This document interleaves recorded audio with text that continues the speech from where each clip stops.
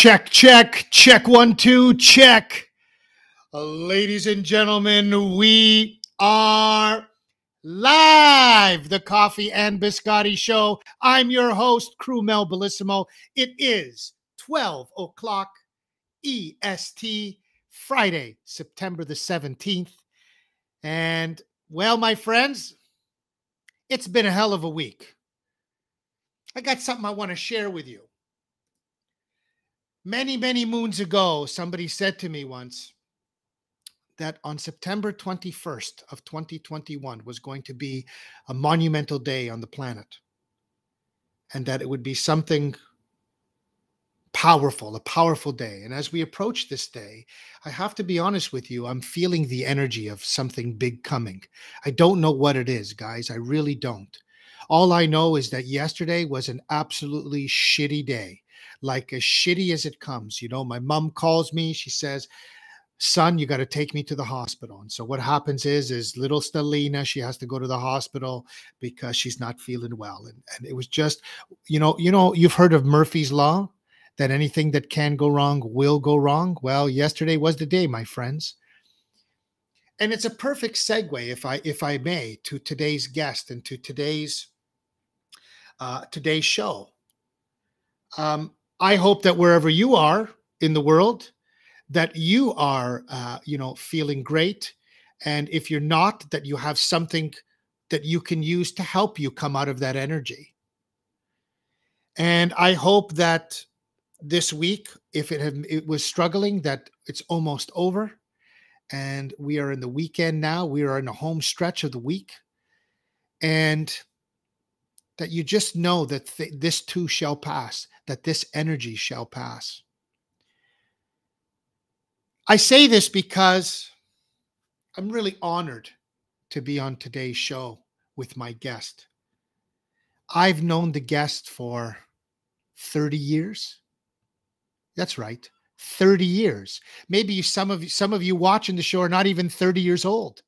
I've known this guy longer than some of you have been on planet Earth. That's the truth. But I'll tell you guys, you're going to hear a story that's going to bring tears to your eyes. A man who, when you talk about trial and tribulation, when you talk about trauma, has lived experience in all of these through all the challenging times he's been through. He continues to move forward. He continues to overcome. He continues to show his light to the world. And he's doing it not just by talking, he's doing it with his action. So if you can take a look, you see my new gear that I have on, courtesy of Hope Be the Cure which is the uh, charitable uh, foundation started by my guest. But, you know, let's talk relationships for a moment. What is the most difficult relationship that you have? Some might say it's with your mother or your father. Some might say it's with your siblings. Some might say it's with your loving relationship. My friends, what I believe is that the most difficult relationship is with yourself. Because we have an unruly roommate, and that's called the mind. Someone said to me once if spirit is up there and your heart is here, then this is in the way. And my next guest has had to deal with this and to transcend the mind, to overcome the mind and look into his heart to look at his spirit and say, I'm more than what's in my mind. I'm greater than what's in my mind. Because it is by will alone that I set my mind in motion.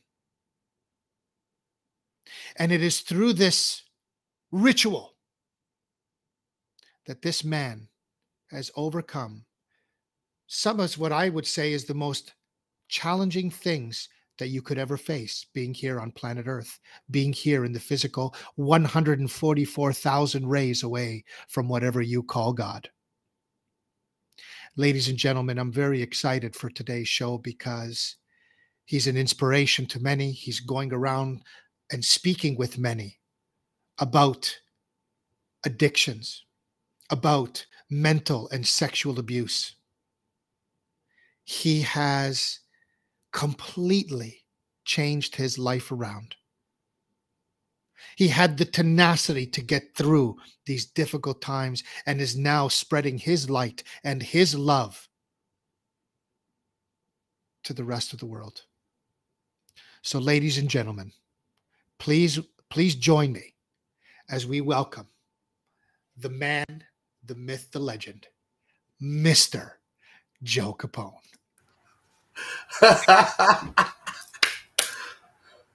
God bless you, bro. Thank you, man. Thanks for having me.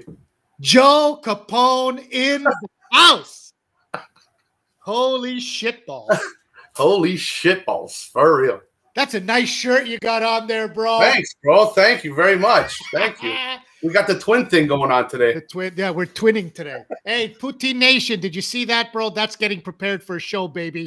Poutine Nation, look at that, bro. We even have the same shirt on, different cities, five hours away. That's okay, baby. Twinning it exactly, Poutine Nation. Joe, thank you so much for being on the show, brother. It's Thanks such a pleasure to have you, bro. Very humble. Thank you.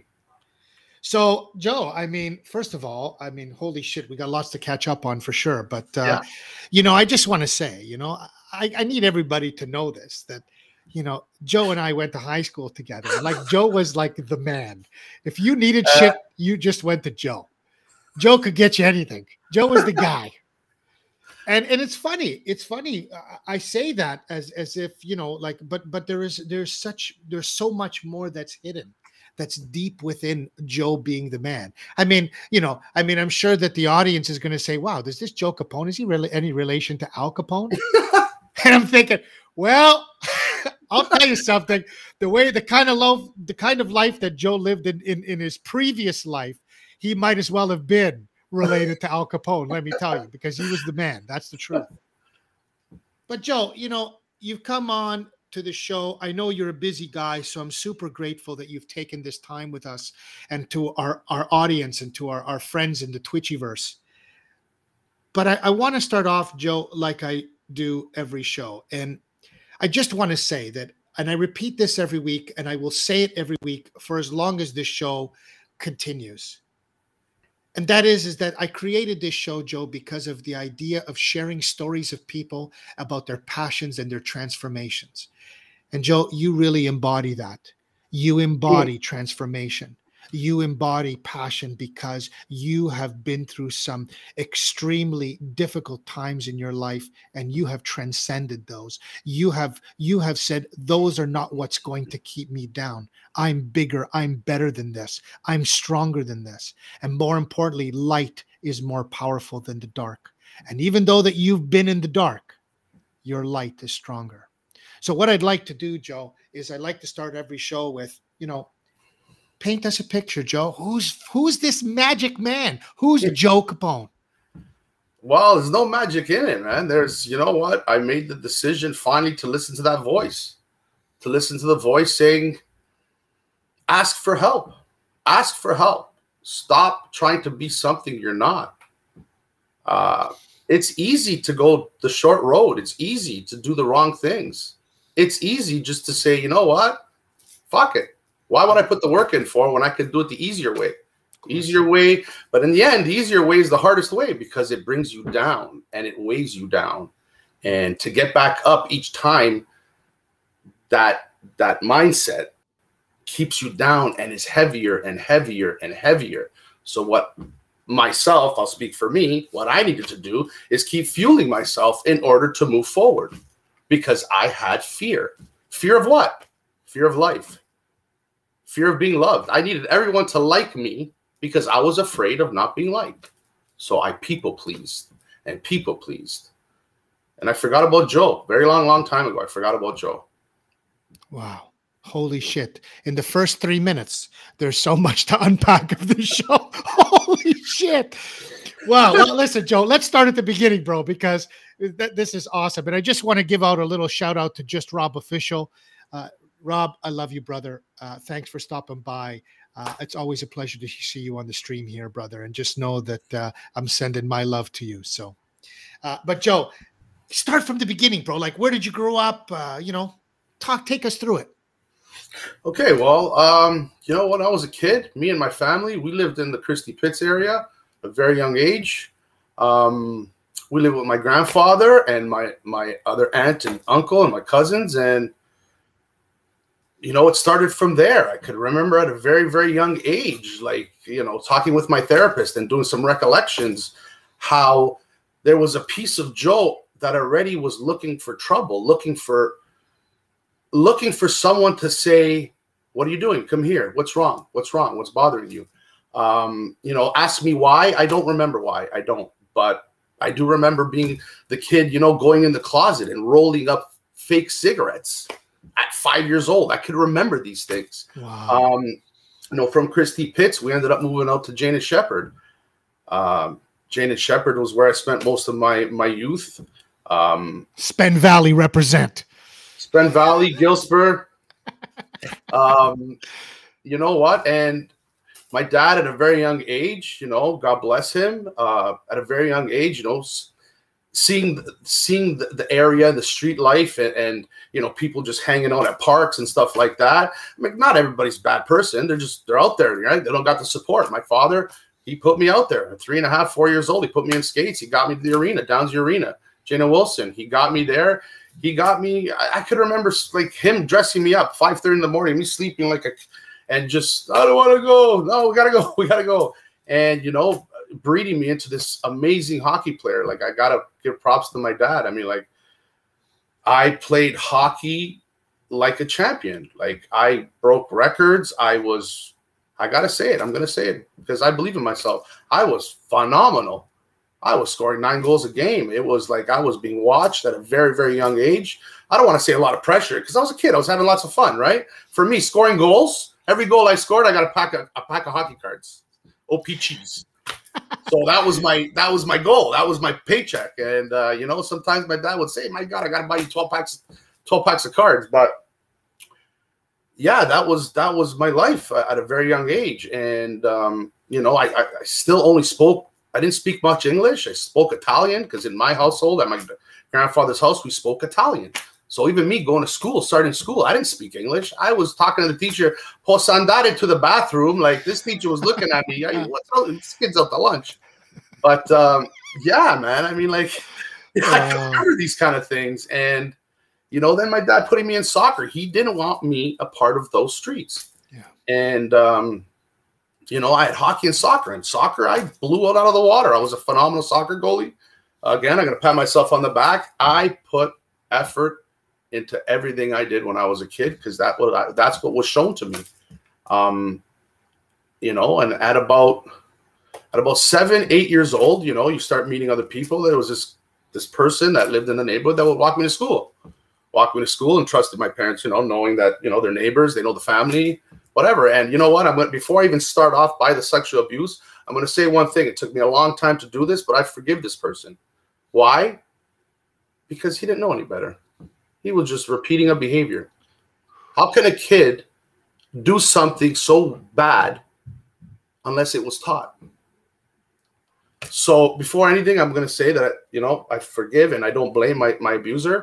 But again, it, it, it, was a key factor into the future, into the story. And, uh, you know, I, I could remember this person saying, you know, come with me. And he would bring me up onto the top of his garage in this dark area. And at first, like, and t- talking about it, I could remember, you know, the touching and the, I'm not going to get into graphics unless you want me to, but basically, like, doing things of a sexual abuse nature. Uh, for me, I was a kid, I didn't know. And then I used to get scared when I had to go there, but you know, I had to go there, I had to go there. And then I would be like, I don't want you to do this, please. I don't want to do this. Yeah, well, if you say anything, I'm going to kill your mother. Okay, kill your mother. So, for many, many times going to this person's house, I would walk into his backyard. To the left, I could see my father my father, because the backyards were attached back in those days. You could see everybody, and I could see my father and, and the fear in me, like frozen, frozen. I just wanted to scream, "Pop, please get me out of here!" But I couldn't because what was in here, he's gonna kill my mom if I say something. So I shut my mouth. And uh, you know, it, it, went along. I'd have to say for four or five years, and fear, fear all the time, fear. And I'll never forget one time we went to this person's house with his parents and my dad, and we went to watch a Italy soccer game in the in their basement. And he goes, "Come here, come here." So he brings me in the back, and he gives me this this glass of white, uh, whatever it was. I could remember just clearly. It was a glass of white wine. And he says, "Drink it." So I drank it, and fuck, man it, I could remember that, like just right now, 45 years old, I could remember that feeling of I'm not afraid. I don't feel scared right now to be next to this guy because it was it was paralyzing to be next to this person, but at the same time being addicted to be beside him. If anybody could understand that. And you know what? Like after that, like we drank another glass, another glass, and we got a little tipsy, whatever. And I, I think I was eight, nine, ten years old. And you know, everybody was watching the soccer game. And when he asked me to go into the garage, man, I was like, I was in front of him. I was running. Yeah, let's go do what we gotta do. Like, I was okay with it, even though I knew it was wrong. I was okay with it because I was feeling okay. And um, then many, many times after that, I, uh, yeah, man, I, uh, I went. Before I'd go, I'd go to my dad's cantina because we know that's where the gold is. That's where the gold is. That's where the gold is. And you know, I'd have my couple glasses, you know, quick, quick, quick, you know, and I I already knew what was I, I was in store for. So I went. And you know, sometimes he would even have me bring little like not little girls, girls my age there, but they would run away right real fast. I remember some of the parents even coming and me having to shut up. No, no, we're not doing nothing wrong. And and yeah, and then uh then uh it just like he just he just went away type of thing. Like he was older, so he went on with his life. Like I said, you know, I don't blame him. He was doing repeat behavior. So for him, maybe there was some type of guilt in him. Maybe there was. I don't know. I can't speak for someone else. But for me, it was freeing and at the same time sad. Sad that, you know, why did you, why did you like uh, abandon me all of a sudden? You just left, right? It was fucking weird. But um, you know, and then at, in this area, still playing hockey, still playing soccer, giving it my all. But I was an angry, angry person after.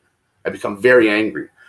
My hockey career was going phenomenal, but man, anytime I got to drop the gloves, I'll drop them on the ice. I'll drop them before we get on the ice, after the ice. I didn't care. I just wanted to unleash. I wanted to unleash because anybody who showed me aggression was going to get it. And you know what, man? Sometimes I had to take my lumps, but a lot of times I gave them. And you know what?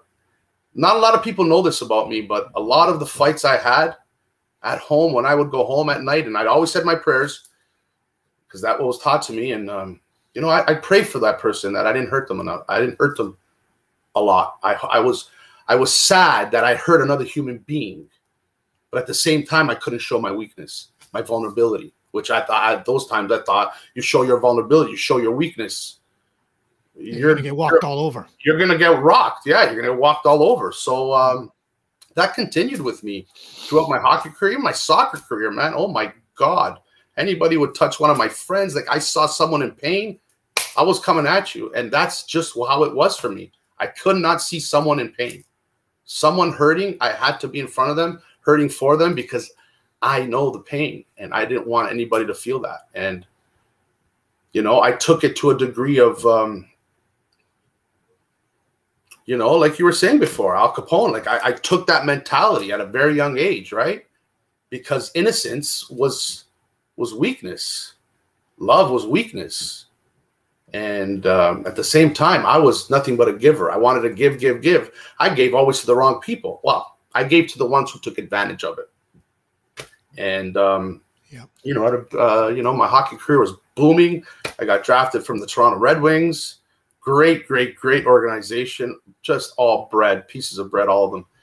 Um, yeah, I was, I was pulled aside, Joe. You know, we have so much great things looking forward to your future. You should be going to the to the show. Uh, you should be there. You got to keep working hard. You're a leader in the dressing room. You, the way you motivate everybody, the way you just don't take a loss, a loss. You, you take that loss with you. But when we win, you you you celebrate the win and, and you tell everybody you got to do harder. You got to do better. You got to do better. That was taught to me by my dad. Was it taught to me in a positive way all the time? No. Can I blame my dad? No, I can't because that's what was taught to him. He was doing the best he could with what he had in front of him. Of course. And I love him for it. And I, I don't want to say hate him for it, but I was angry for it too. Because at a very young age, I just wanted my dad to be my friend. And uh, you know, he just didn't he did he just didn't have it in him. My dad loves me to the moon and back. I know for sure he does. That's his way. His way of showing his friendship to me was, you know, being at my hockey games when he was working nights at Ford and sneaking out and sneaking back in just to see his son playing and then going back to work, driving an hour from Oakville to come to Toronto just to watch his son score three, four, five goals. And then no matter what, always being told, you could have done better. you could have done better. And you know what? That's a good way to teach people, but saying you could have done better is a negative. You did great. You did great, but you got better in you. That to me is a little bit different. But again, I'm doing the work to learn how to how to use my words properly. Yeah. So so so Joe, I mean there's already so much to again unpack with that just the beginning part. I mean, you're you're 12 years old at this.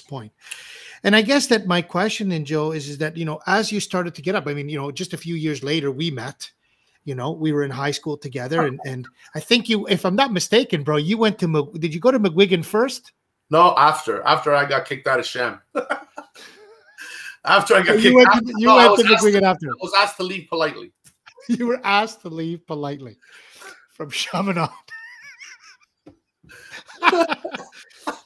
but you know, I mean, even while you went through high school, bro. I mean, I guess that the question is, is so so at what age did sort of um you know mind altering drugs come in what like like wh- when did this happen and sort of how what was the start of that Okay, well, you know, the, the wine was mind altering, so it started from there, and then getting into the neighborhood, right, and um, you know, starting to give up on hockey, starting to say, "Fuck this, I'm done, I'm done." The bet, I do my best, I do my best, I do my best, and you know, all I'm asking for is some friendship here, Dad, or you know, I just, you know, if, listen, listen, Italians, like I gotta say this, like European mentalities, it, it was what it was.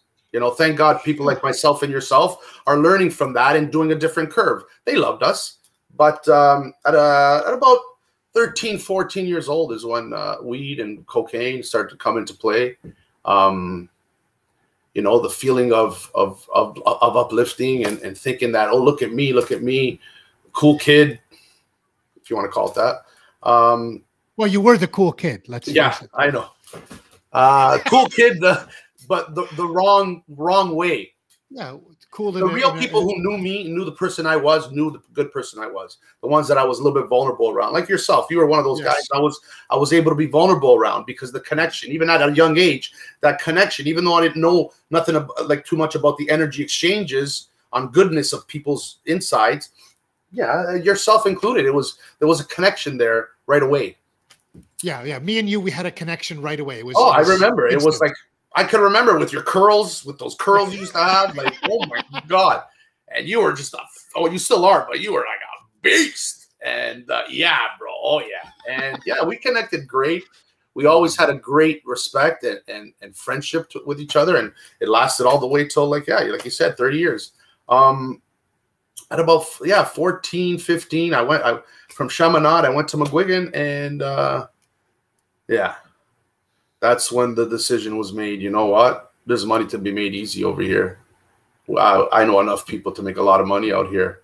And my plans for the money were to do good things with it but you know parties came into play uh clubs came into play getting into after hours came into play hanging around with the the, the right people. At those times i called them the right people and you know connections were made like that and uh, you know money was easy it was easy at a very young age to be bringing in i'm not going to talk about money because i don't want to i don't want to glorify money uh, but you know a, a lot for a 15 16 17 year old kid a lot of money to be bringing in right and you know, and my money easy come, easy go. It was given to everybody around me. I need I needed to be loved. I needed to be liked. I could not show, oh my God, imagine they know that I was raped. Imagine they know that this. Imagine they know that um, that I, I, cry at night. Imagine they know these things. Imagine they know I pray for for peace. Imagine they know these things. They're gonna laugh at me. These people. Yeah. No, no, you're gonna see a guy that you're gonna you're gonna see me walking down the street and you're gonna say, "Fuck, here comes Joe." Everybody smile. Everybody smile. Make sure you do what he says and yeah, I could remember uh, a lot of things like that, and I could remember, I could remember just like I was sharing before. No, I could not see anybody suffer. I like to tell you how many fights I've actually started. I don't know, not many. I, I was more of the guy jumping in and making sure nobody got hurt, and just taking the punches for anybody because I just didn't want to see anybody hurt and uh, that took me a long ways and it actually it actually helped me in, in a way for the organized life that i started to live because people saw that this guy was willing to stand in front of anything he just didn't care he was willing to stand in front of anything for us. So how do we utilize this guy? How do we utilize this guy? How do we utilize him? Send them out there. And you know i started doing my the life. I started living the life. I started um, you know started booking. I started selling dope. I started uh, collecting money. Um, and you know, no matter what, no matter who I went to see or what I, I prayed all the time. Please God, make sure that they're not in pain. Please God, help these people not buy the drugs. Please God, help these people stop gambling. Because if they stopped, I didn't have to do that job anymore. And um, you know, it was it was it wasn't about the outer world in the end in the end, it was not about the outer world. It was about me inside and opening this up. And when I opened this up, and I finally said, "No, I don't care anymore. People are going to know who I am." Uh, you know, there's there's some people to this day that you know are seeing me trying my best. Do I fall? Do I fall? I fall like the rest of them. I fall like the best of them. I love Denzel Washington. I don't know if you've ever seen him speak. I love what he says so much. You're gonna fail. You're gonna fail in life. The most successful people failed one more time. They failed one more time. They kept trying and trying and trying. When you fail, when you fall, Denzel Washington always says it fall forward. Don't fall backwards. You're going to fall, fall forward. And when he was saying that, I was like, oh my God, when I was teaching my little girls how to skate, I would always say, Papa, when you fall, fall forward. Fall forward, Papa, because you can see where you're going when you fall. When you fall backwards, you can't see where you're going. You can't see what's behind you. There was, there was, and I'm gonna say it, years that I'd fall and I'd fall backwards. Mel, man, there was sometimes I would be in bed for maybe a week. I would get up at eight o'clock at night just to go get a fix and go back home and sleep and wake up and force myself back to sleep because I just did not want to see the world. It was just draining out of me. It was like a higher energy was trying to stop me from getting up and keep living that life. And I finally saw that, that that's exactly what it was. It was that inner voice that was saying, You're better than this. And not just me, everybody in the world gets this because we're all born with one thing this light. We're all born with light, love. I was coming home from Italy yesterday on the plane. I was watching a movie, and I'm gonna say it. Yeah, that's right. I was watching Frozen 2 because I love that movie. Okay? Yeah, yeah. yeah. I'm the Listen, you'll ever meet in your life, eh? Joe, I, I have a three year old, and I'll tell you, man, watching some of these animated movies, holy shit, I think they were meant for us. Bro, and you know what? The messages I see in it, and there was a part where the, the, the character Olaf was he's losing his power because the princess lost her power, and I think Princess Anna. I'm not even going to get into too much detail, but he looks at her and he says, "You know, I can't follow you. Uh, I can't follow you right now. I'm, I'm," and he's melting away, and he's saying, "You know, one thing that I'm realizing right now that's permanent, that's permanent, is love.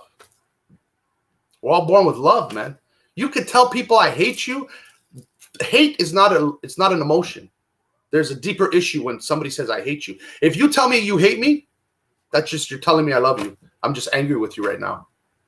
All right. Anger second. Yeah, there's something inside me that's not right, and that's and I'm sort of you know uh, uh, pushing that anger out onto you? A hundred percent. How do I know this? Because I did it for many years. I did it for many years, and uh, you know, today, yeah, am I going to tell you sit here and say I never get angry or uh, I never feel like, oh my god, man, like one second I could just go back to the old life, make money, do great things. Oh, wait a second, but it comes along with a lot of comes along. It comes with some heavy, heavy stuff to make a decision to go back to easy, and I won't do it. I won't do it. I just it's not worth it for me. I, I choose to live in love today. Like there's some people that that send send vibes at my way, and it is what it is. What do I do? What do I choose to do today? When I journal, I journal success for them. I journal light for them. I journal that they find their light and they listen to that voice inside. Because you know, to hate or to have anger, man, it's heavy. It's heavy. It's draining, and it just it sucks the life out of you. Love is love got me no sleep. Like I'm just jumping sometimes. Like I'm jumping out of bed. I'm like, what am I doing next? Who am I talking to? Where am I going? God, please, God. And when I say God, I don't mean it in the Roman Catholic sense. I mean it in a higher power and a higher light. God, Buddha, the Dalai anybody that sends love, Jesus, anybody who sends love has a story of love. That's what I love. I love that. And that's all I'm trying to do. I'm just, I'm trying I'm trying to do I'm trying to do my best that I could do every day because not that I have the whole world watching me, but I have three beautiful angels watching me every day. And and you know, sometimes when they see me crying, you know, it's hard not to cry sometimes. It's just hard not to cry. Um, and uh, you know, they're they're a huge inspiration for me, my three daughters. Huge inspiration. They're basically not the one reason, because I'm the number one reason I have to say, because without Joe, there's nothing. Of course. But, but, yeah. Yeah, yeah. So yeah, going along. Uh so yeah. How many so, years, how many years did addiction last, Joe? Like, I mean, we're talking like decades. Oh yeah. Oh yeah. Addiction is still alive and well right in here, bro. It doesn't stop. I'll tell you right now, before the show started, I was feeling so great. You know what that little part of my brain said? Oh, when the show's done, eh? When the show's done, you could go you could go. No one's gonna know. No one's gonna know. You could go have a drink. This thing never shuts off. I know. But neither does this thing. This thing never shuts off either anymore. Of course. And when I need help, I'll ask for it. That's vulnerability. That's strength. For me, vulnerability equals strength. Well, uh, of course, and I mean that's where that's where the, the, the magic happens. You know, I mean, is when when when and and sort of what I do, Joe, because it's funny. You know, I had a I had a really tough week, Joe, and uh, I was super excited to be here with you today because I knew that you were going to bring your light, and and I've I've known your light for 30 years. But I had a really shitty day, and you know, Joe, I've got a, I've got, and this is this is the perfect time to say this, but I've got a company, and it's called Decorus Life, and decorus is the Latin word for beautiful, and my last name is Bellissimo. Okay, so I I just I just I decided that I was going to, with the pandemic, open up this coaching business. And I have to be honest with you, Joe, this is fucking hard, man. Being a coach and trying to constantly seek out clients, to constantly, you know, reinvent yourself, uh, it, it it really is such a difficult thing. And so, what I can say is is that and and and Kimmy Smiles just said in the chat, Joe, you always continue to inspire. I me, was so. just reading that and I was waiting. I was I love you, Kim. Thank you. Thank you very much. You too inspire me always. So you know what I what I can say, Joe, is is that it's very it, it, you know I'm sort of feeling a bit defeated today. But then i see your light and then i see what you've been through and then i see your you know i listen to your story. I feel your energy as i create this space for you to be vulnerable and for you to be open. So i want to take this somewhere joe because we've we we we have a picture. But there's so much of that picture that we need to understand and one of them is this. If you've known anybody who went through the 12 steps of alcoholics anonymous um, one of the things that that I was was sort of taught to me and then I experienced through friends was is that by the end of it they find God or they find faith. And so the question for me remains is in your experience, you know, is there some truth to saying that an addiction is actually nothing more than a spiritual disconnect? You know, can we can we talk a little bit about that? Definitely, 100%. I totally agree with you. Um, you know, no faith. What do we have? We're left with nothing, nothingness. Nothing. Th- nothingness is just an empty void, empty void that you just need to keep filling and filling and filling. Spiritual faith growth in that fills that void. And what's it? What does it fill it with? It fills it with love, strength, light. It fills it with the decisions to do the next right thing, uh, uh, to listen to that that that voice that says, "Keep moving forward, keep moving forward. Don't worry if you fell. Everybody falls. Everybody falls. Doesn't mean that the well's got to get emptied. Doesn't mean that the spiritual growth ends. I've I've I've fallen in my in my in my recovery. Does that make me a, a failure?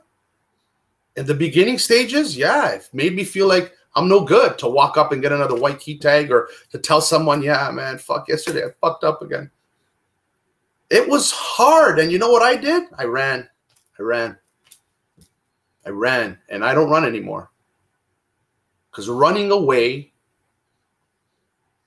makes us run away from the light. And the darkness for myself is a very scary place. Yeah. Um, and so and so, but but Joe, you know, like I, I think it's interesting because, you know, you you we we we've we certainly have connected, you know, uh even even though we haven't seen each other and so on, we've connected. We connected uh, with that friend of ours, whatever her name was back in the day, and I yeah. was doing my metaphysical study, you know but the, but the truth is joe is is that I, I, find it interesting. And you know you having been through the, the process you know of, of of you know now going to speak to people with with addictions you know and and again sharing your light with them what happened? Like take me to the process bro. When did that light finally come? Because i know that the light came when you decided that the light was was worth it. The light was more powerful. The light meant stop running away from my problems. Let me deal with them and let me let me shine this positivity instead of the dark. But take us through that if you could. No problem. Um 2016 was uh basically the end of my marriage.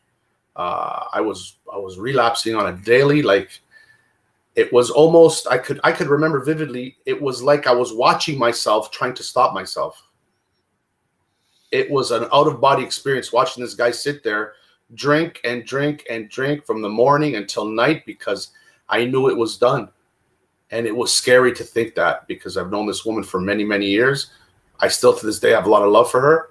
Um, and i ended up at uh, what i like to call the gates of hell what I thought was the gates of hell, what I thought was the gates of hell, mm-hmm. which was a beautiful, beautiful treatment center I went to, Trafalgar House in Erin. I love you guys all. You guys, you guys showed me the strength I had. You didn't give me the strength. You showed me the strength I had. And getting there, I was so scared, crying my head off. Mom, I can't do this. Please, please. Why? Because I knew it was done.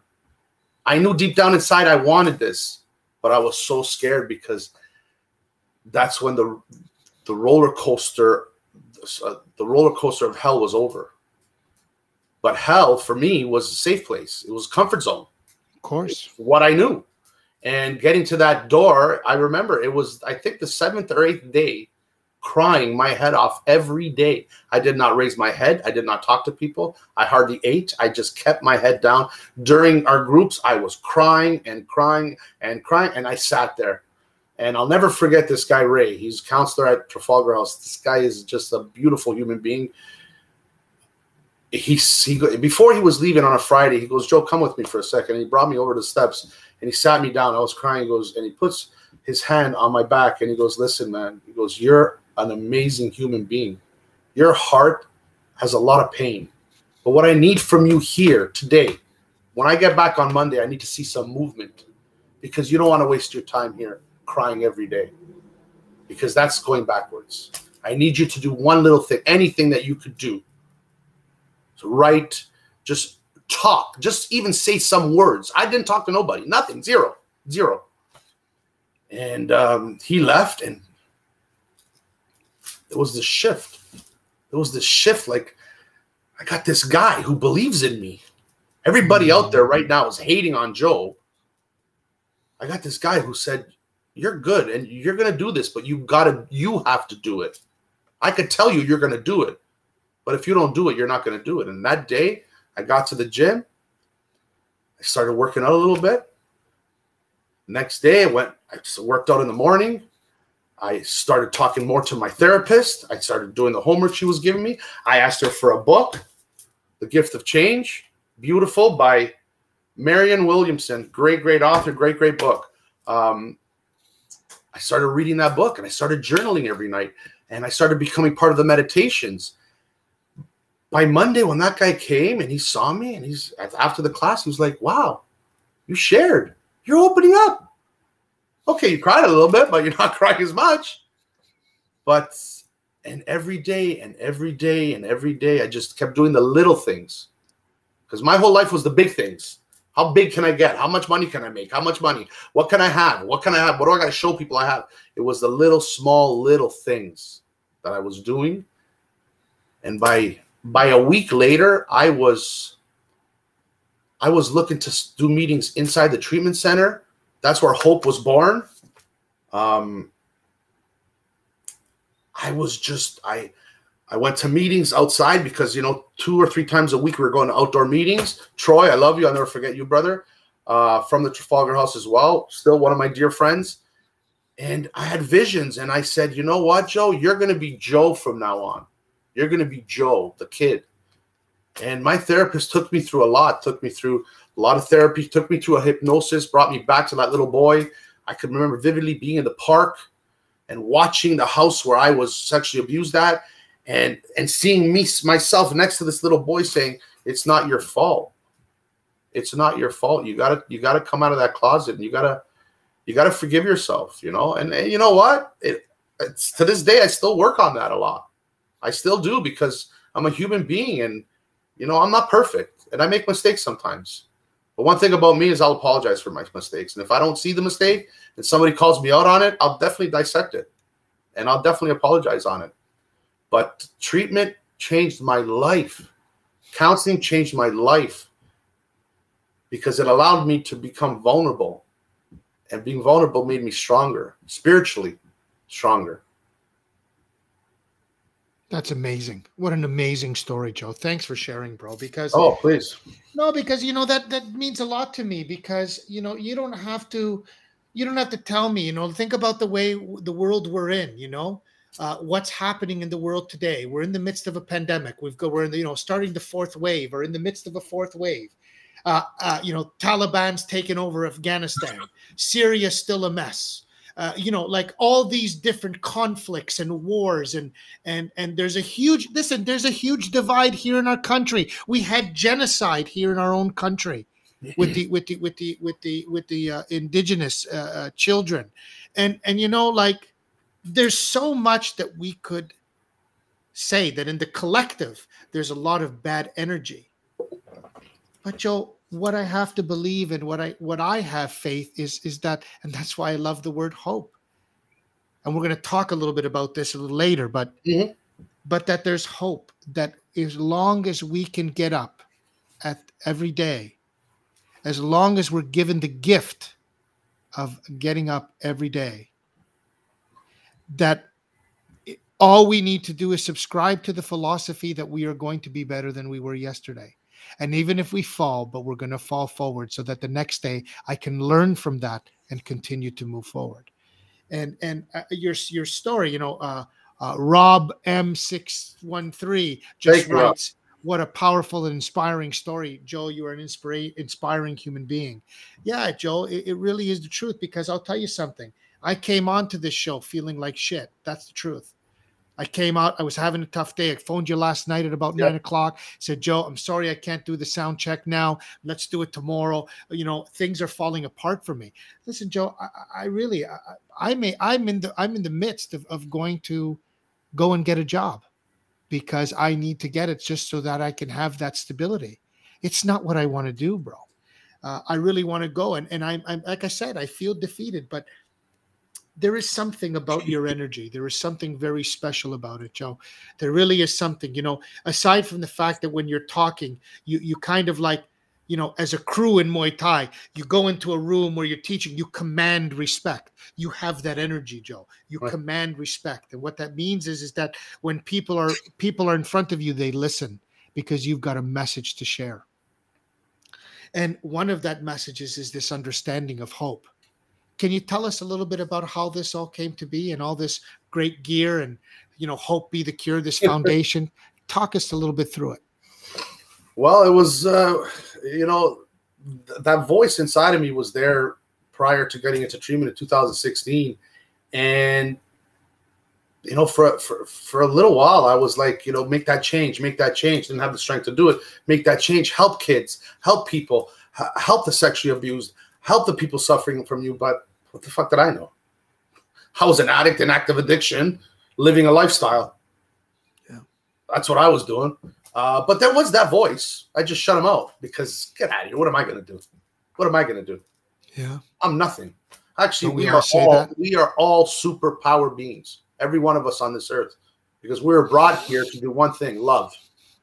How hope came about. Uh, 2009.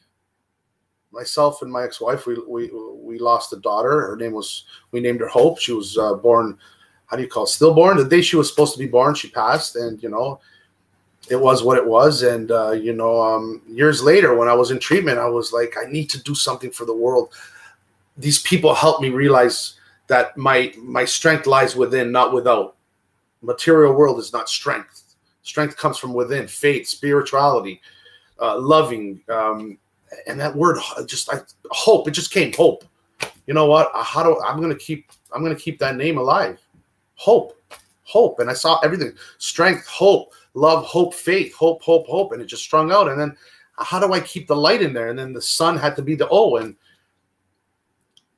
and uh, the vision from back then was to tell my story, to tell people that no matter what you're chasing, I love what Bob Marley said. You know, if you're chasing not money, money's numbers, numbers never end. And if you're chasing money to be happy, you're never going to find happiness. You're never going to find it.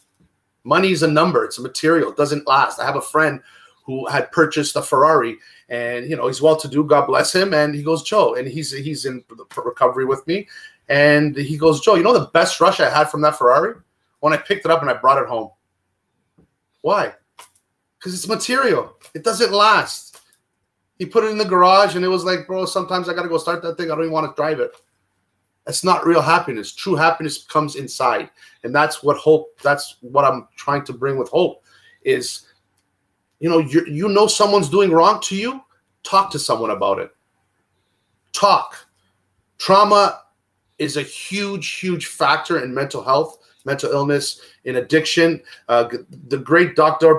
Gabor Mate said it. If you read this book, oh my God, it's phenomenal. The Realm of Hungry Ghosts by Dr. Gabor Mate you want to know what addicts go through and the pain and the spiritual bankruptcy of an addict?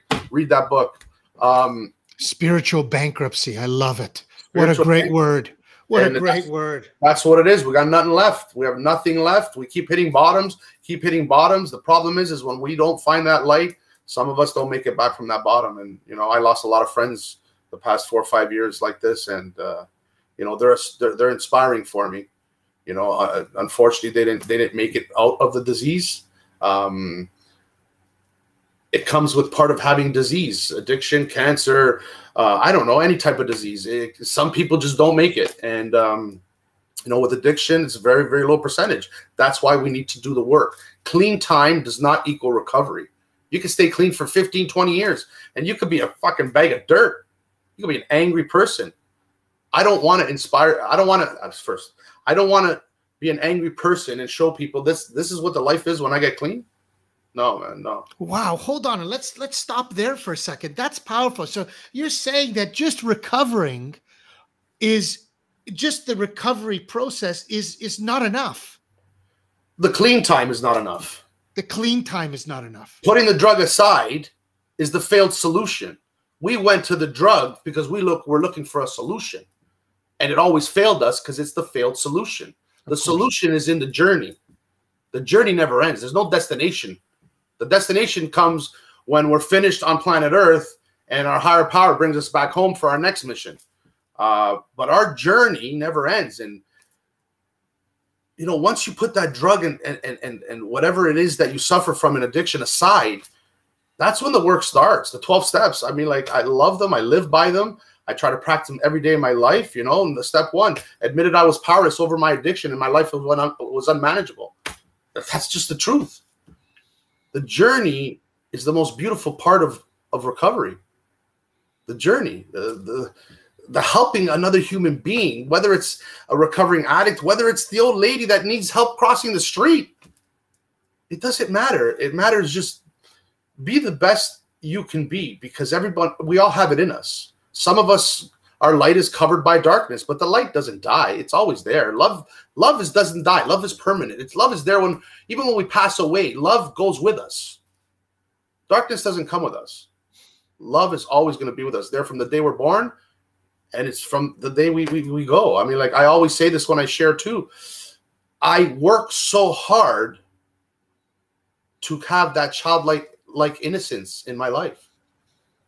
That that not being afraid to say the truth, how you feel. And you know, children are a great example of how the world should be. Free, love. You know, I make friends with everybody. I don't I want to be friends with the world. Why? Because the world comes from one place.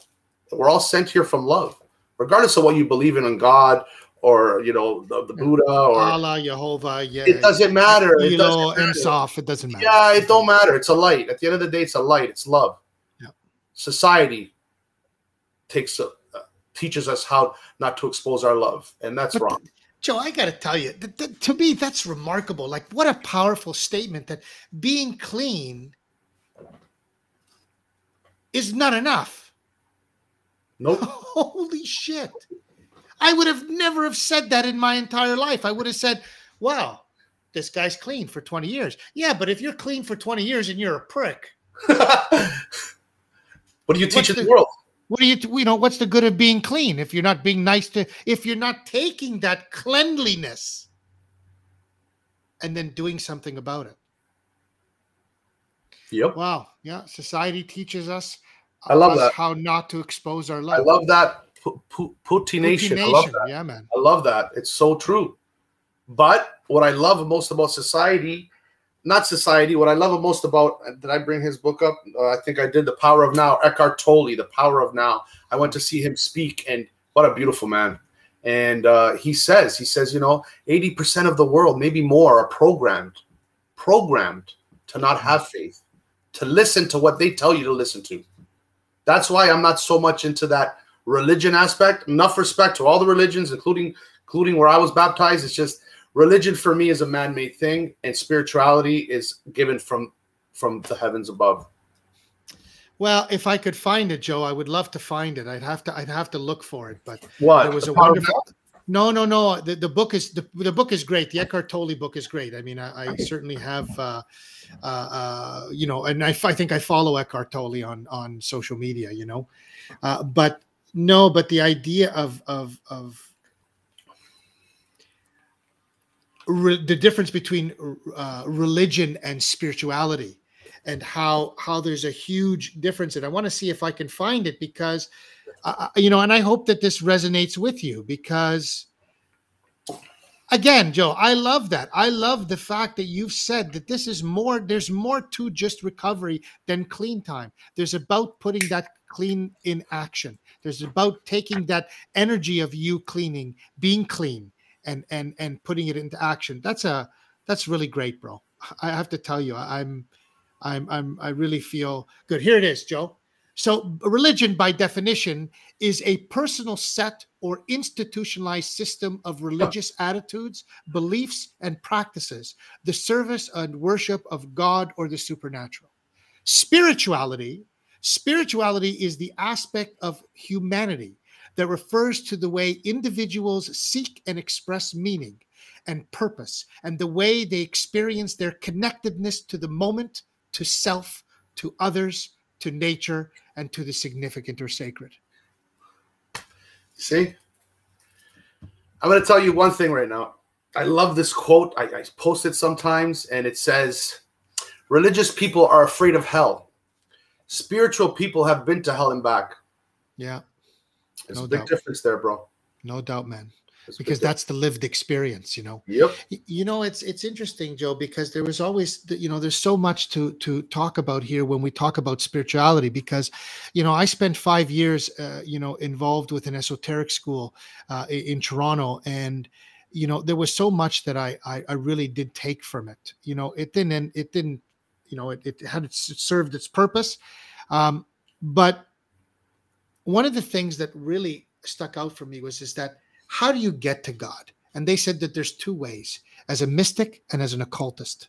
A mystic is one who uh, decides that they're going to sort of take their way out of society, a priest, a monk, you know, somebody that decides that they're going to they're going to pull themselves away from society and and maybe maybe practice celibacy and and just focus on life. Uh, mm-hmm. as a as a mystic.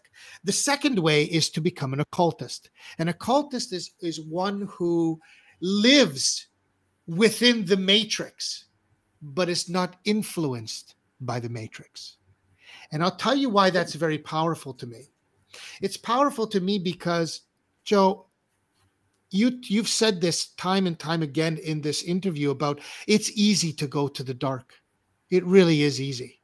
And if you talk about choice theory, Francesco Baszacchi, my choice theory mentor, said, you know, even for people that are addicted, they have their quality world picture. And in that quality world picture, taking drugs, being addicted, helps them in in in in in one of the five uh, uh, um, in one of the five basic needs that we have as humans and for one of them, it could be love and belonging that we take these drugs so that we can fit in.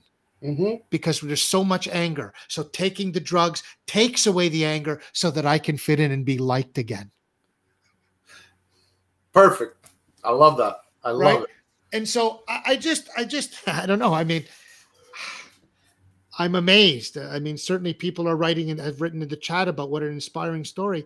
But so, Joe, what does you know? Because I want to not switch gears with the hope mm-hmm. thing for a second. But mm. so, what does hope do? What's the what's the sort of the the, the purpose, if you will, of, of hope?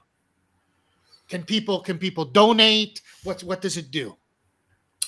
You know, you could uh, reach out, DM me. You could call me uh, 647 299 0981. Order hats, t shirts reach out to me if you need help with anything. Um, I want hope to become such a thing that people people attract to the light. People attract to the message of love, love, love, love, uh, forgiveness, um, um, speaking about what's going on, not being afraid. Like everybody loves to talk about how happy they are. I'm okay. I'm okay. I'm doing great. You know, it's great to talk about how happy we are because those are successes but we need to talk about our, our, our failures as well. We need to talk about our pains. Talk about our pains. That's where our strength comes from. That's where my strength comes from, from talking about my pain, talking about how my day went yesterday. You know, uh, hope is, I'm going to say it. I want to, I want to do what many and many other people that are, are, are doing in the spiritual world. We want a world full of love no war, love. No hate, love.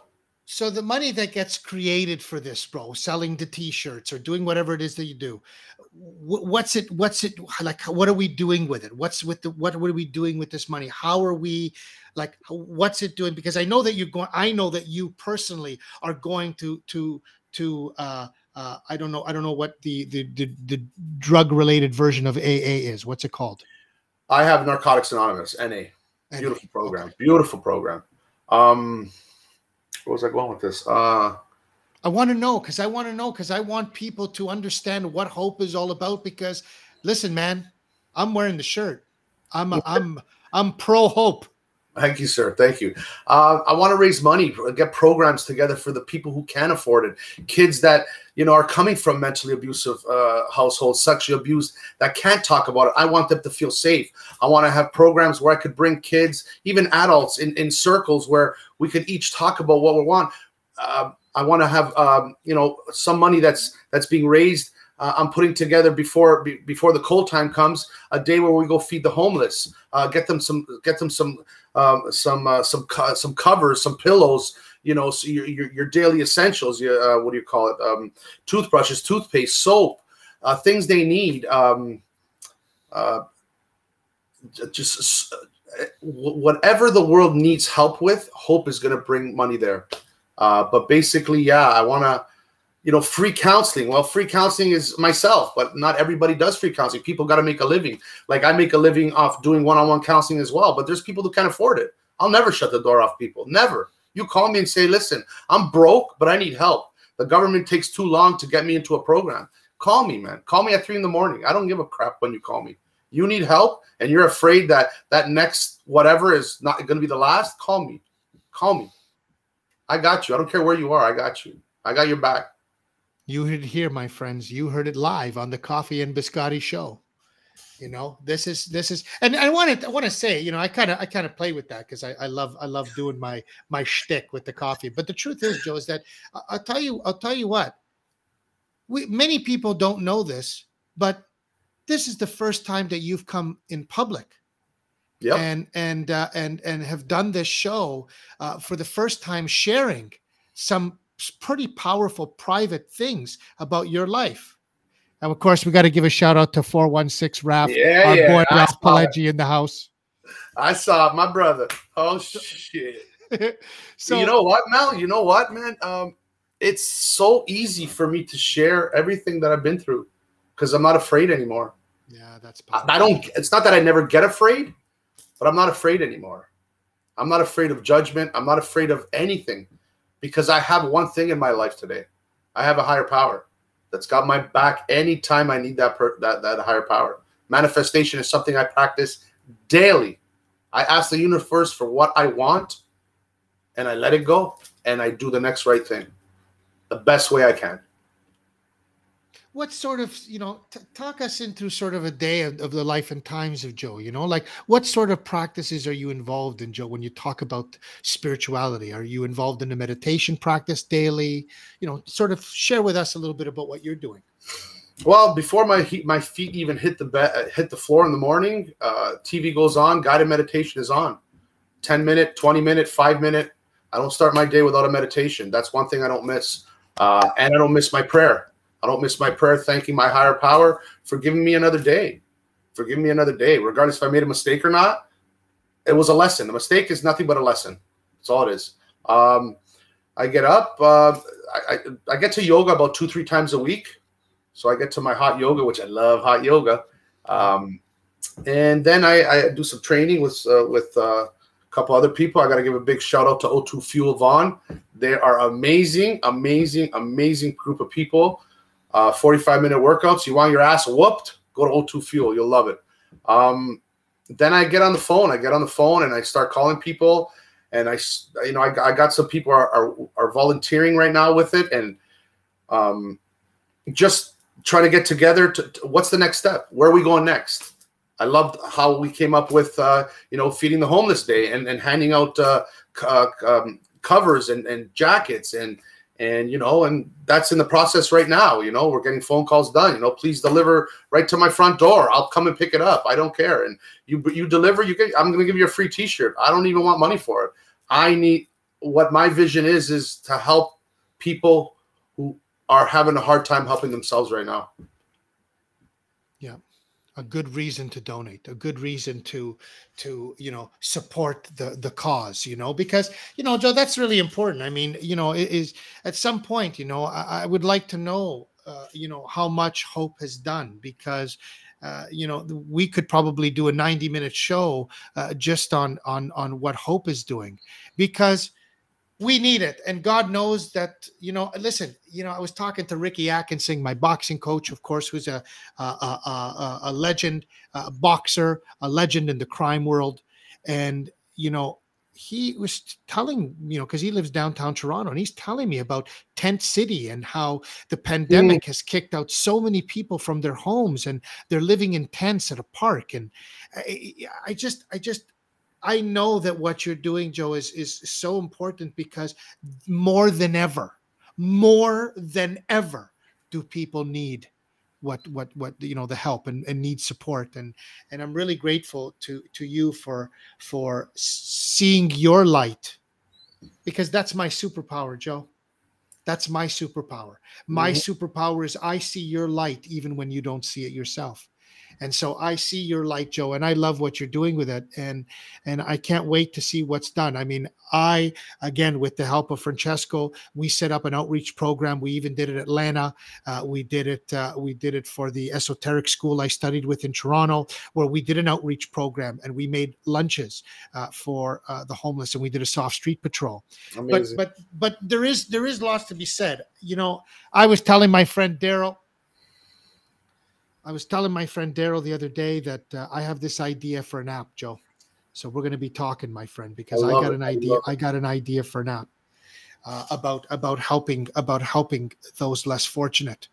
So so Joe, what's what's you know what's happening next? Like what's happening in the life and times with Joe now? You know, you just got back from Italy like I don't know, 12 hours ago something like that 12 15 hours ago wow. next next next is i'm in the process of writing a book uh, um, i'm in the process of actually discussion with uh, i don't know if it'll happen this year but uh, first annual golf tournament for hope i'm reaching out to yeah nice. you right all the companies with lots of money uh, for nice. some donations to help and you know what man i i just my dream is to have my treatment center one day and to just help people. And you know what? Like I I truly wish that it comes to the point where there's there's people out there that you know have these big companies that have been through this road that say you know what? I want to help this this this cause. And i could get people in there that don't have money like these government funded programs. A lot of people don't even get help from the government but they want help. And you're saying it the pandemic you know how many people were losing? Too many too many, too many overdoses, uh, uh, um, suicides. It's it's it's not right. It's not right. These people want help. A lot of people want help, and they just don't have the means for it. And I was lucky. I was I was lucky. I have a family who supported me, continues to support me, even though I could be such a prick sometimes. But uh, yeah. you know, it comes with being Joe. I mean, like I'm like I said before, I'm not perfect, but uh, yeah, I want to get a golf tournament together. I'd like to have a gala night maybe next year.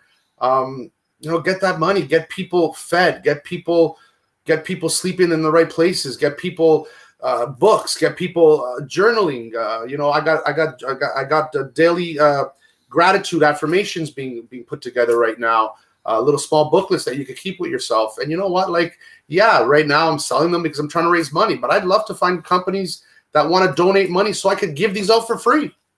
So i could give them out for free. And you know what man? There's there are companies out there that do these type of things that help people, which I'm grateful, and I and I'm gonna find one, and I'm gonna find one. I'm gonna work with them, and and yeah, man, we're gonna change the world from my aspect, just like a lot of other people are changing the world with their foundations, their, their charities.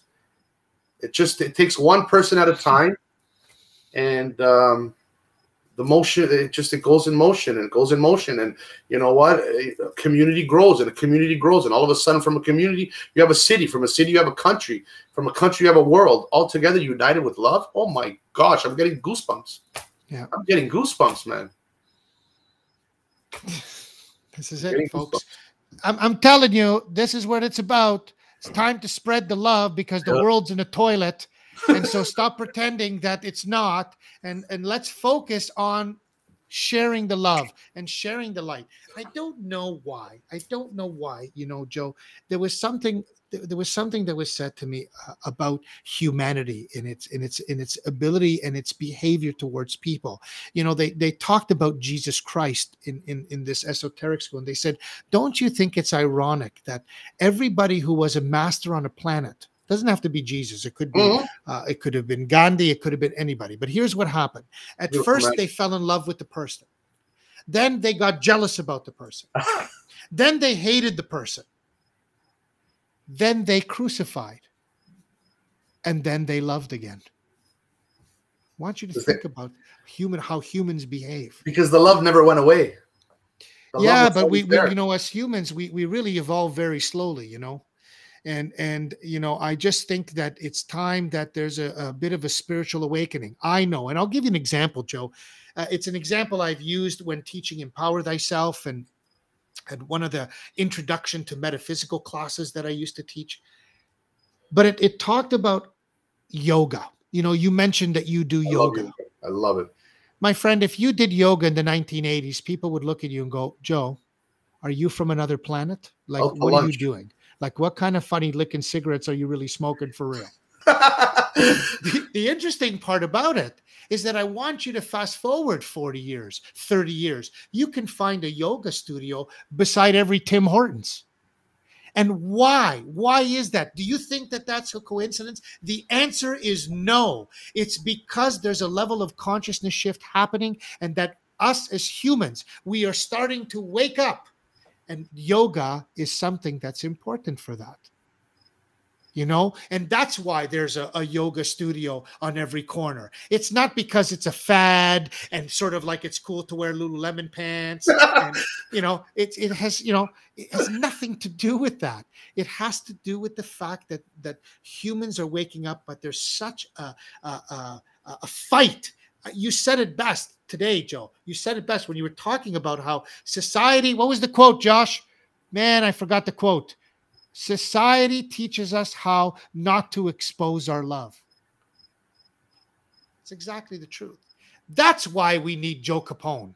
That's why the world needs Joe Capone because there are there are people who are going to really benefit from picking up the phone and and and dialing. So Joe, uh, you know, it kind of leads us into the to the part of the show where I wanted to, you know, where I said, look, Joe, if you're having trouble, where do people call? Like, what are people doing? What what can we do? I got three phone numbers here. Call. I got four actually, because mine's gonna be the last one, and it's gonna be one that you could call 24 hours a day, just like these ones. There's the Alcoholics Anonymous hotline, 1-800-839-1686. There's another One more time, Joe. 1 800 839 1686. Then there's a Narcotics Anonymous hotline. I love this phone number because the way it ends 1 800 600 HOPE. 1 800 600 4673. Then One there's more time. 1 800 600 4673. Then there's the Substance Abuse and Addiction Hotline 1 844 299 0879. One more time 1 844 299 0879. And you could call me 24 hours a day 647 299 0981. DM me in my social media at Hope Be the Cure, all one word. I will always answer the phone. I'll never, ever not answer the phone. And if I don't answer, I'll call you right back. Amazing, Joe. Call. Absolutely amazing. Call. If you're suffering, call. Thank It's you, worth- Josh, for putting it in the chat. Chat, Thanks, brother. Really Josh. appreciate it. And where's Ralph? Ralph, our buddy Ralph says, "I didn't Yeah. know. I thought I had no light. What are you kidding me, bro? Ralph, your serious? smile used to light me up, man. Never oh, mind. Are you kidding me? Come on, let's face it, Joe. We all knew who the comedian of our group was, and that was Ralph. Yep. Yep. Oh yeah. Yeah. He's you wanted to laugh, you go talk to Ralphie. That's it, man. Yeah. So, so Joe, I'm, I'm, I, have to say, I'm, I'm, I'm super proud of, of, of your turnaround. I mean, I knew that this was a long time coming. We spoke, we spoke, I think, in, in, in our throughout our, our, our journey, uh, um, about, uh, you know, the turnaround that you were having and, and how you started this recovery, recovery process. But I have to say, man, I, I, I'm humbled by by the love that you share and and by the love that you're shining because um, we all could use it. So um, hats off to you, my friend. You as well, Mel. You always show love. I love what you're doing here. I mean, like we, what you're doing here is helping change the world. Yeah, I'd Frank like to believe last- so. Yeah, Frank Spadone last week, isn't he I was amazing? inspired. I loved when he kept saying "vibrate higher, vibrate higher." I loved that. It stuck with me all week. Vibrate higher. It's such a powerful message. Vibrate higher. Yeah. Life's gonna throw you curveballs. Life's gonna try to knock you down a lot, but life's also gonna love you a lot. Try to concentrate on the love. And I guess that that's the secret, eh? Oh yeah. That's the secret. You know, what do you attribute the success to, Joe? What do you attribute your success to now and and sort of coming this far, you know? Do you I mean, I know that it's about an internal but was there was there a quantum moment in the recovery was there a quantum moment you know dr dyer calls it the quantum moment but was there something that really was it that guy was it that guy ray what was his name Ray. ray? was it ray came to touch your back and that's how it happened You know what? He was that moment in my life, like moments in everybody's life. That moment was supposed to happen. Those first eight nine days of crying was supposed to happen. That moment where he pulled me aside was already written in the book long time before I was born. That moment, that moment where we sat on the side of the building was supposed to happen. And he was the chosen. He was chosen from the higher power to to to give me that little push that I needed. Yeah. A lot of society does not see it. And maybe the inside it says it oh yeah you know what? That person's right. But we ignore it. I ignored it a long time. Sometimes i still do. Um, when messages are being sent to us we need to listen. Not just hear the message. We need to listen to it internally. We need to listen. The, the, the more you connect yourself with a higher power a higher being god uh, whatever you want to call it the, the louder the voice gets the more you could understand what this power needs from you. Because this power put us here always to do the next right thing for the next person and including ourselves. Um, everybody that comes in our path is, is, is supposed to be on our path, supposed to be in my path. Today was written a long, long, long time ago. Today was written a long time ago. And um, I'm grateful for it. I'm grateful to be able to come here and and and and tell tell my story, tell the vision, tell the tell what other people around the world are starting to do more and more of. Yeah. Like you're saying, you know, yoga studios on every corner. For real, 30 years ago, you tell people yoga, they'll laugh at you. Yoga is one of the most beautiful, beautiful things you could do for yourself. Energy in the yoga studio is it's it's a transforming energy. Yeah. You leave a yoga studio, you feel, I feel like wow, like the energy it, it, takes me through the day. And you know what? Yeah, life life comes at me, man. Comes at it came at you, and and, and you had your day yesterday, and holy and, shit! oh, you know, I prayed for for for for you, and um, I know you did, brother. and you know, prayer and and and and, and sending love is such a beautiful, easy energy that it reaches people a lot faster than than anger does and it, it's it's it's such a beautiful thing for me. And like I said, I'm not perfect. Sometimes I have my moments, but one thing I love about myself nowadays is my moments don't last.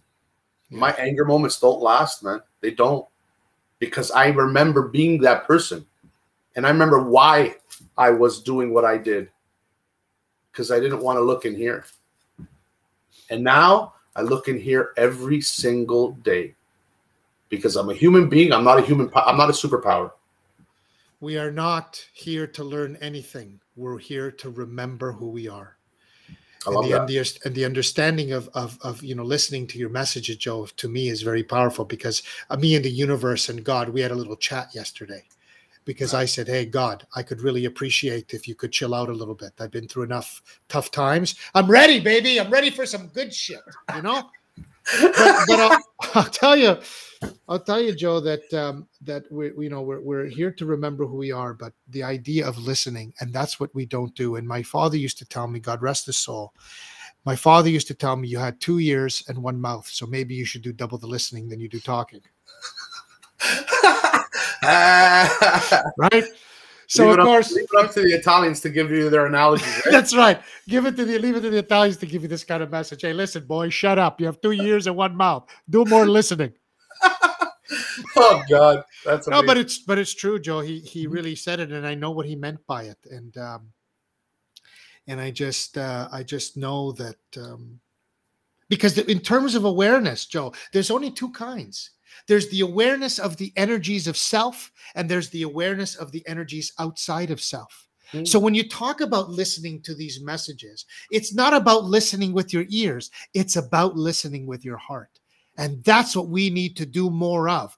Everybody listens with their ears, and then it has to go through the process of something called the mind. Mm, And we are not our thoughts, said Michael Singer. We are the awareness that we have thoughts. I love that. Michael Singer, The Untethered Soul. Put it on your reading list, Joe. I will. I got a bunch of books I'm re- I'm reading, but I love reading. I mean, like I never would have thought. I read my first first first book when I was 40 years old, and I haven't put books down since. I love reading. That's why I'm writing my own book. I mean, like, listen, if it's just for me, it's just for me. I could care less. It's just I know, but for what me. a cathartic experience it would be. It's it's putting my, my my my feelings to a piece of paper. Like i do almost every night. I'm not perfect. I don't journal every night but anybody out there journal every night and make a small gratitude list. It helps so much. You'll have transformations. Obviously it's not a western society type of medicine. It takes a little longer but it stays longer as well.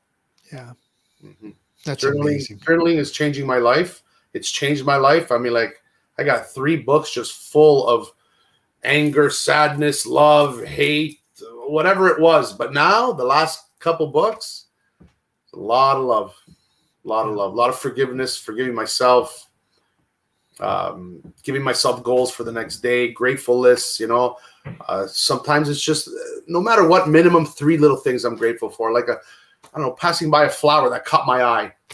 That's that's a beautiful thing man. It is. catching a flower that caught my eye. That's that's gorgeous. Or talking to a friend mm, that i that i've known for 30 years Bada bing, bada boom. but a big, those are miracles bro those are miracles those are two loves being intercepted Yeah.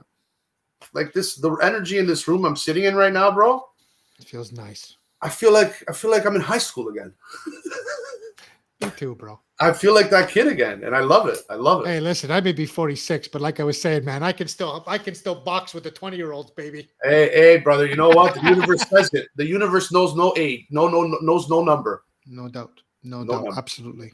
Absolutely.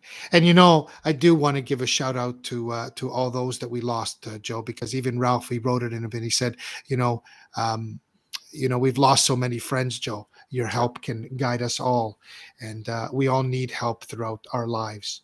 And um, and you know, I want to also give a shout out to Sandra Mio, who I don't know if you remember Sandra Mio, Joe, but uh, she was uh, she's uh, one of just an absolute incredible human being. I love this woman dearly, and uh, she's back from the. Um, uh, she's back from the Madonna days. That's how, how long we go back. you know? Madonna, oh my Madonna High School Madonna. Nice, Andrew. Hello. Thanks. Yeah, and and you know it's funny. Ralph just wrote that we had a revelation uh, that I had a revelation with a tree. You know, Joe, th- th- it's funny he said that because when you said that you you you had a connection with a flower, let's say, Joe, I'm going to tell you a crazy story. But I walked with my little guy, and through the park that's in my neighborhood, I saw a magnolia tree on the other side. And when I stopped and I looked at this thing, Joe, I have to tell you, man, I I I I heard this tree talk to me people are going to read the, listen to this and go, well, maybe you should lay off the weed if you heard the tree talk to you. But but the truth is, Joe, is that first of all, there's no weed. But secondly, it's about that connectedness. And and you know, again, there was so much to unpack. You're gonna have to listen to this over and over again because there's so much to really unpack about what you said. But you talked about, you know why there's love? Because we are all connected. We all come from the same place. And when I talk about this connectedness with this tree, that's what it felt like, Joe. It felt like I was as one with the universe.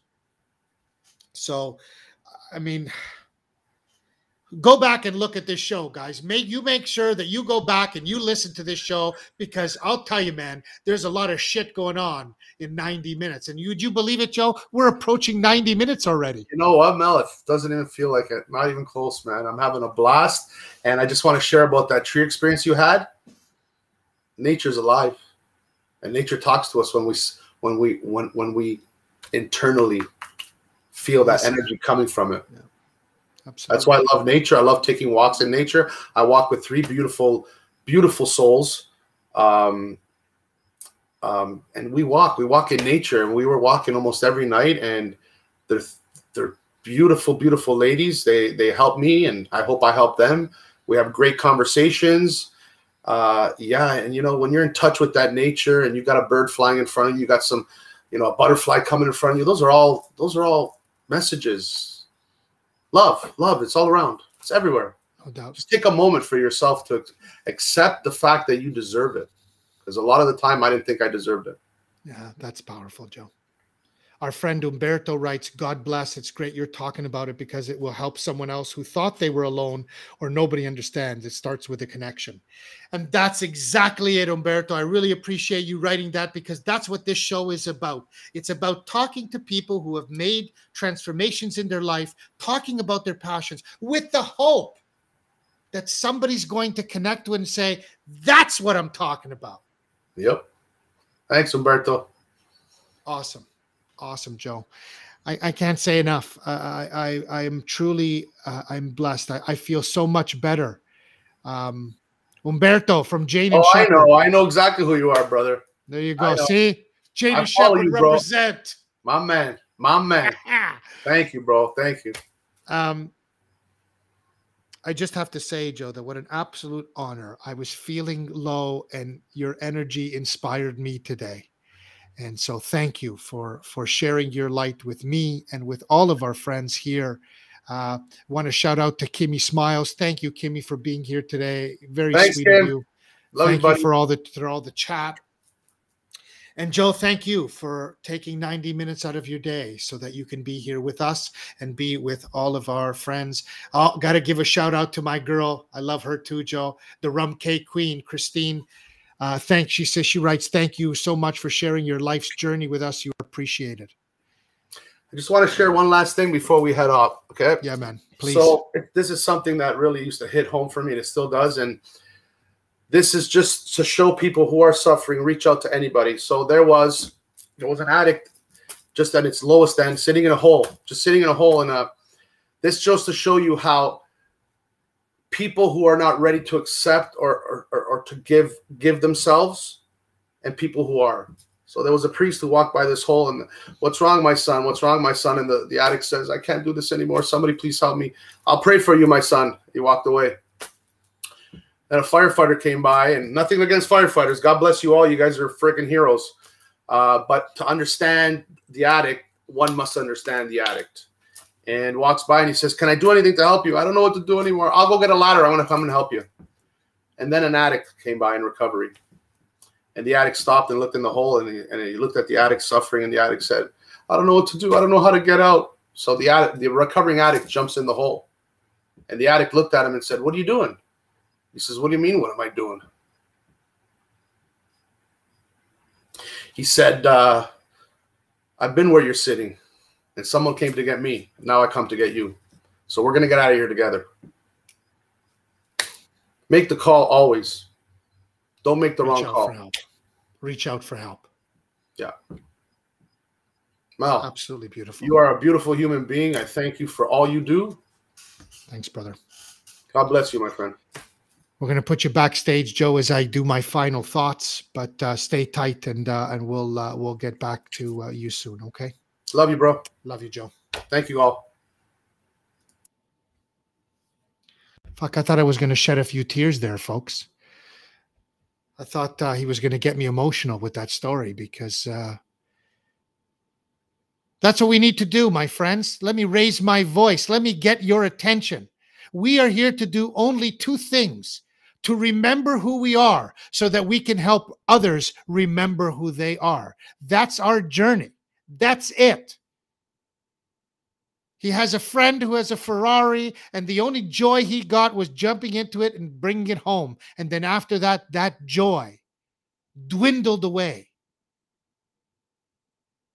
because it's not about what external.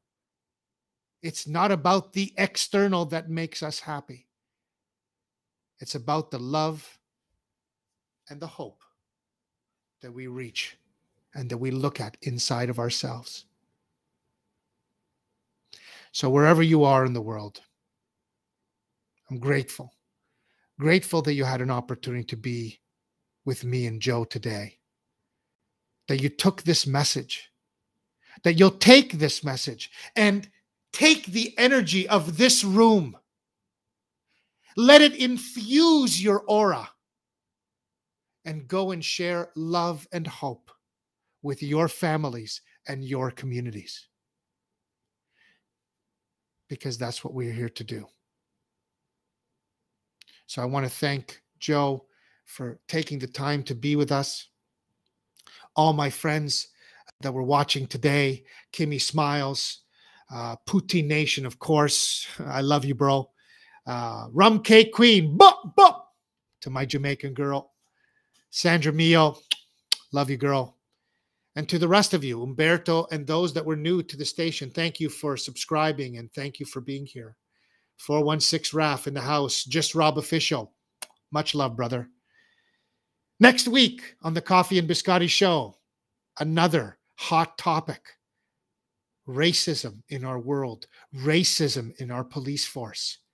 Next week on the Coffee and Biscotti show, uh, former Canadian amateur boxing heavyweight champ, Calvin Lawrence, retired RCMP cop.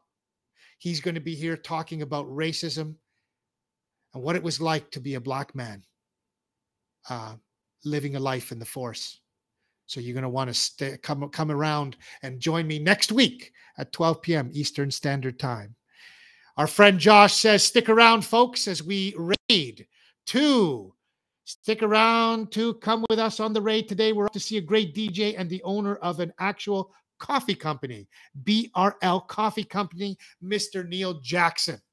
So stick around, my friends. From all of us here at the Coffee and Biscotti Show." Love and hope, my friends. Love and hope. Kru Mel signing off. Peace.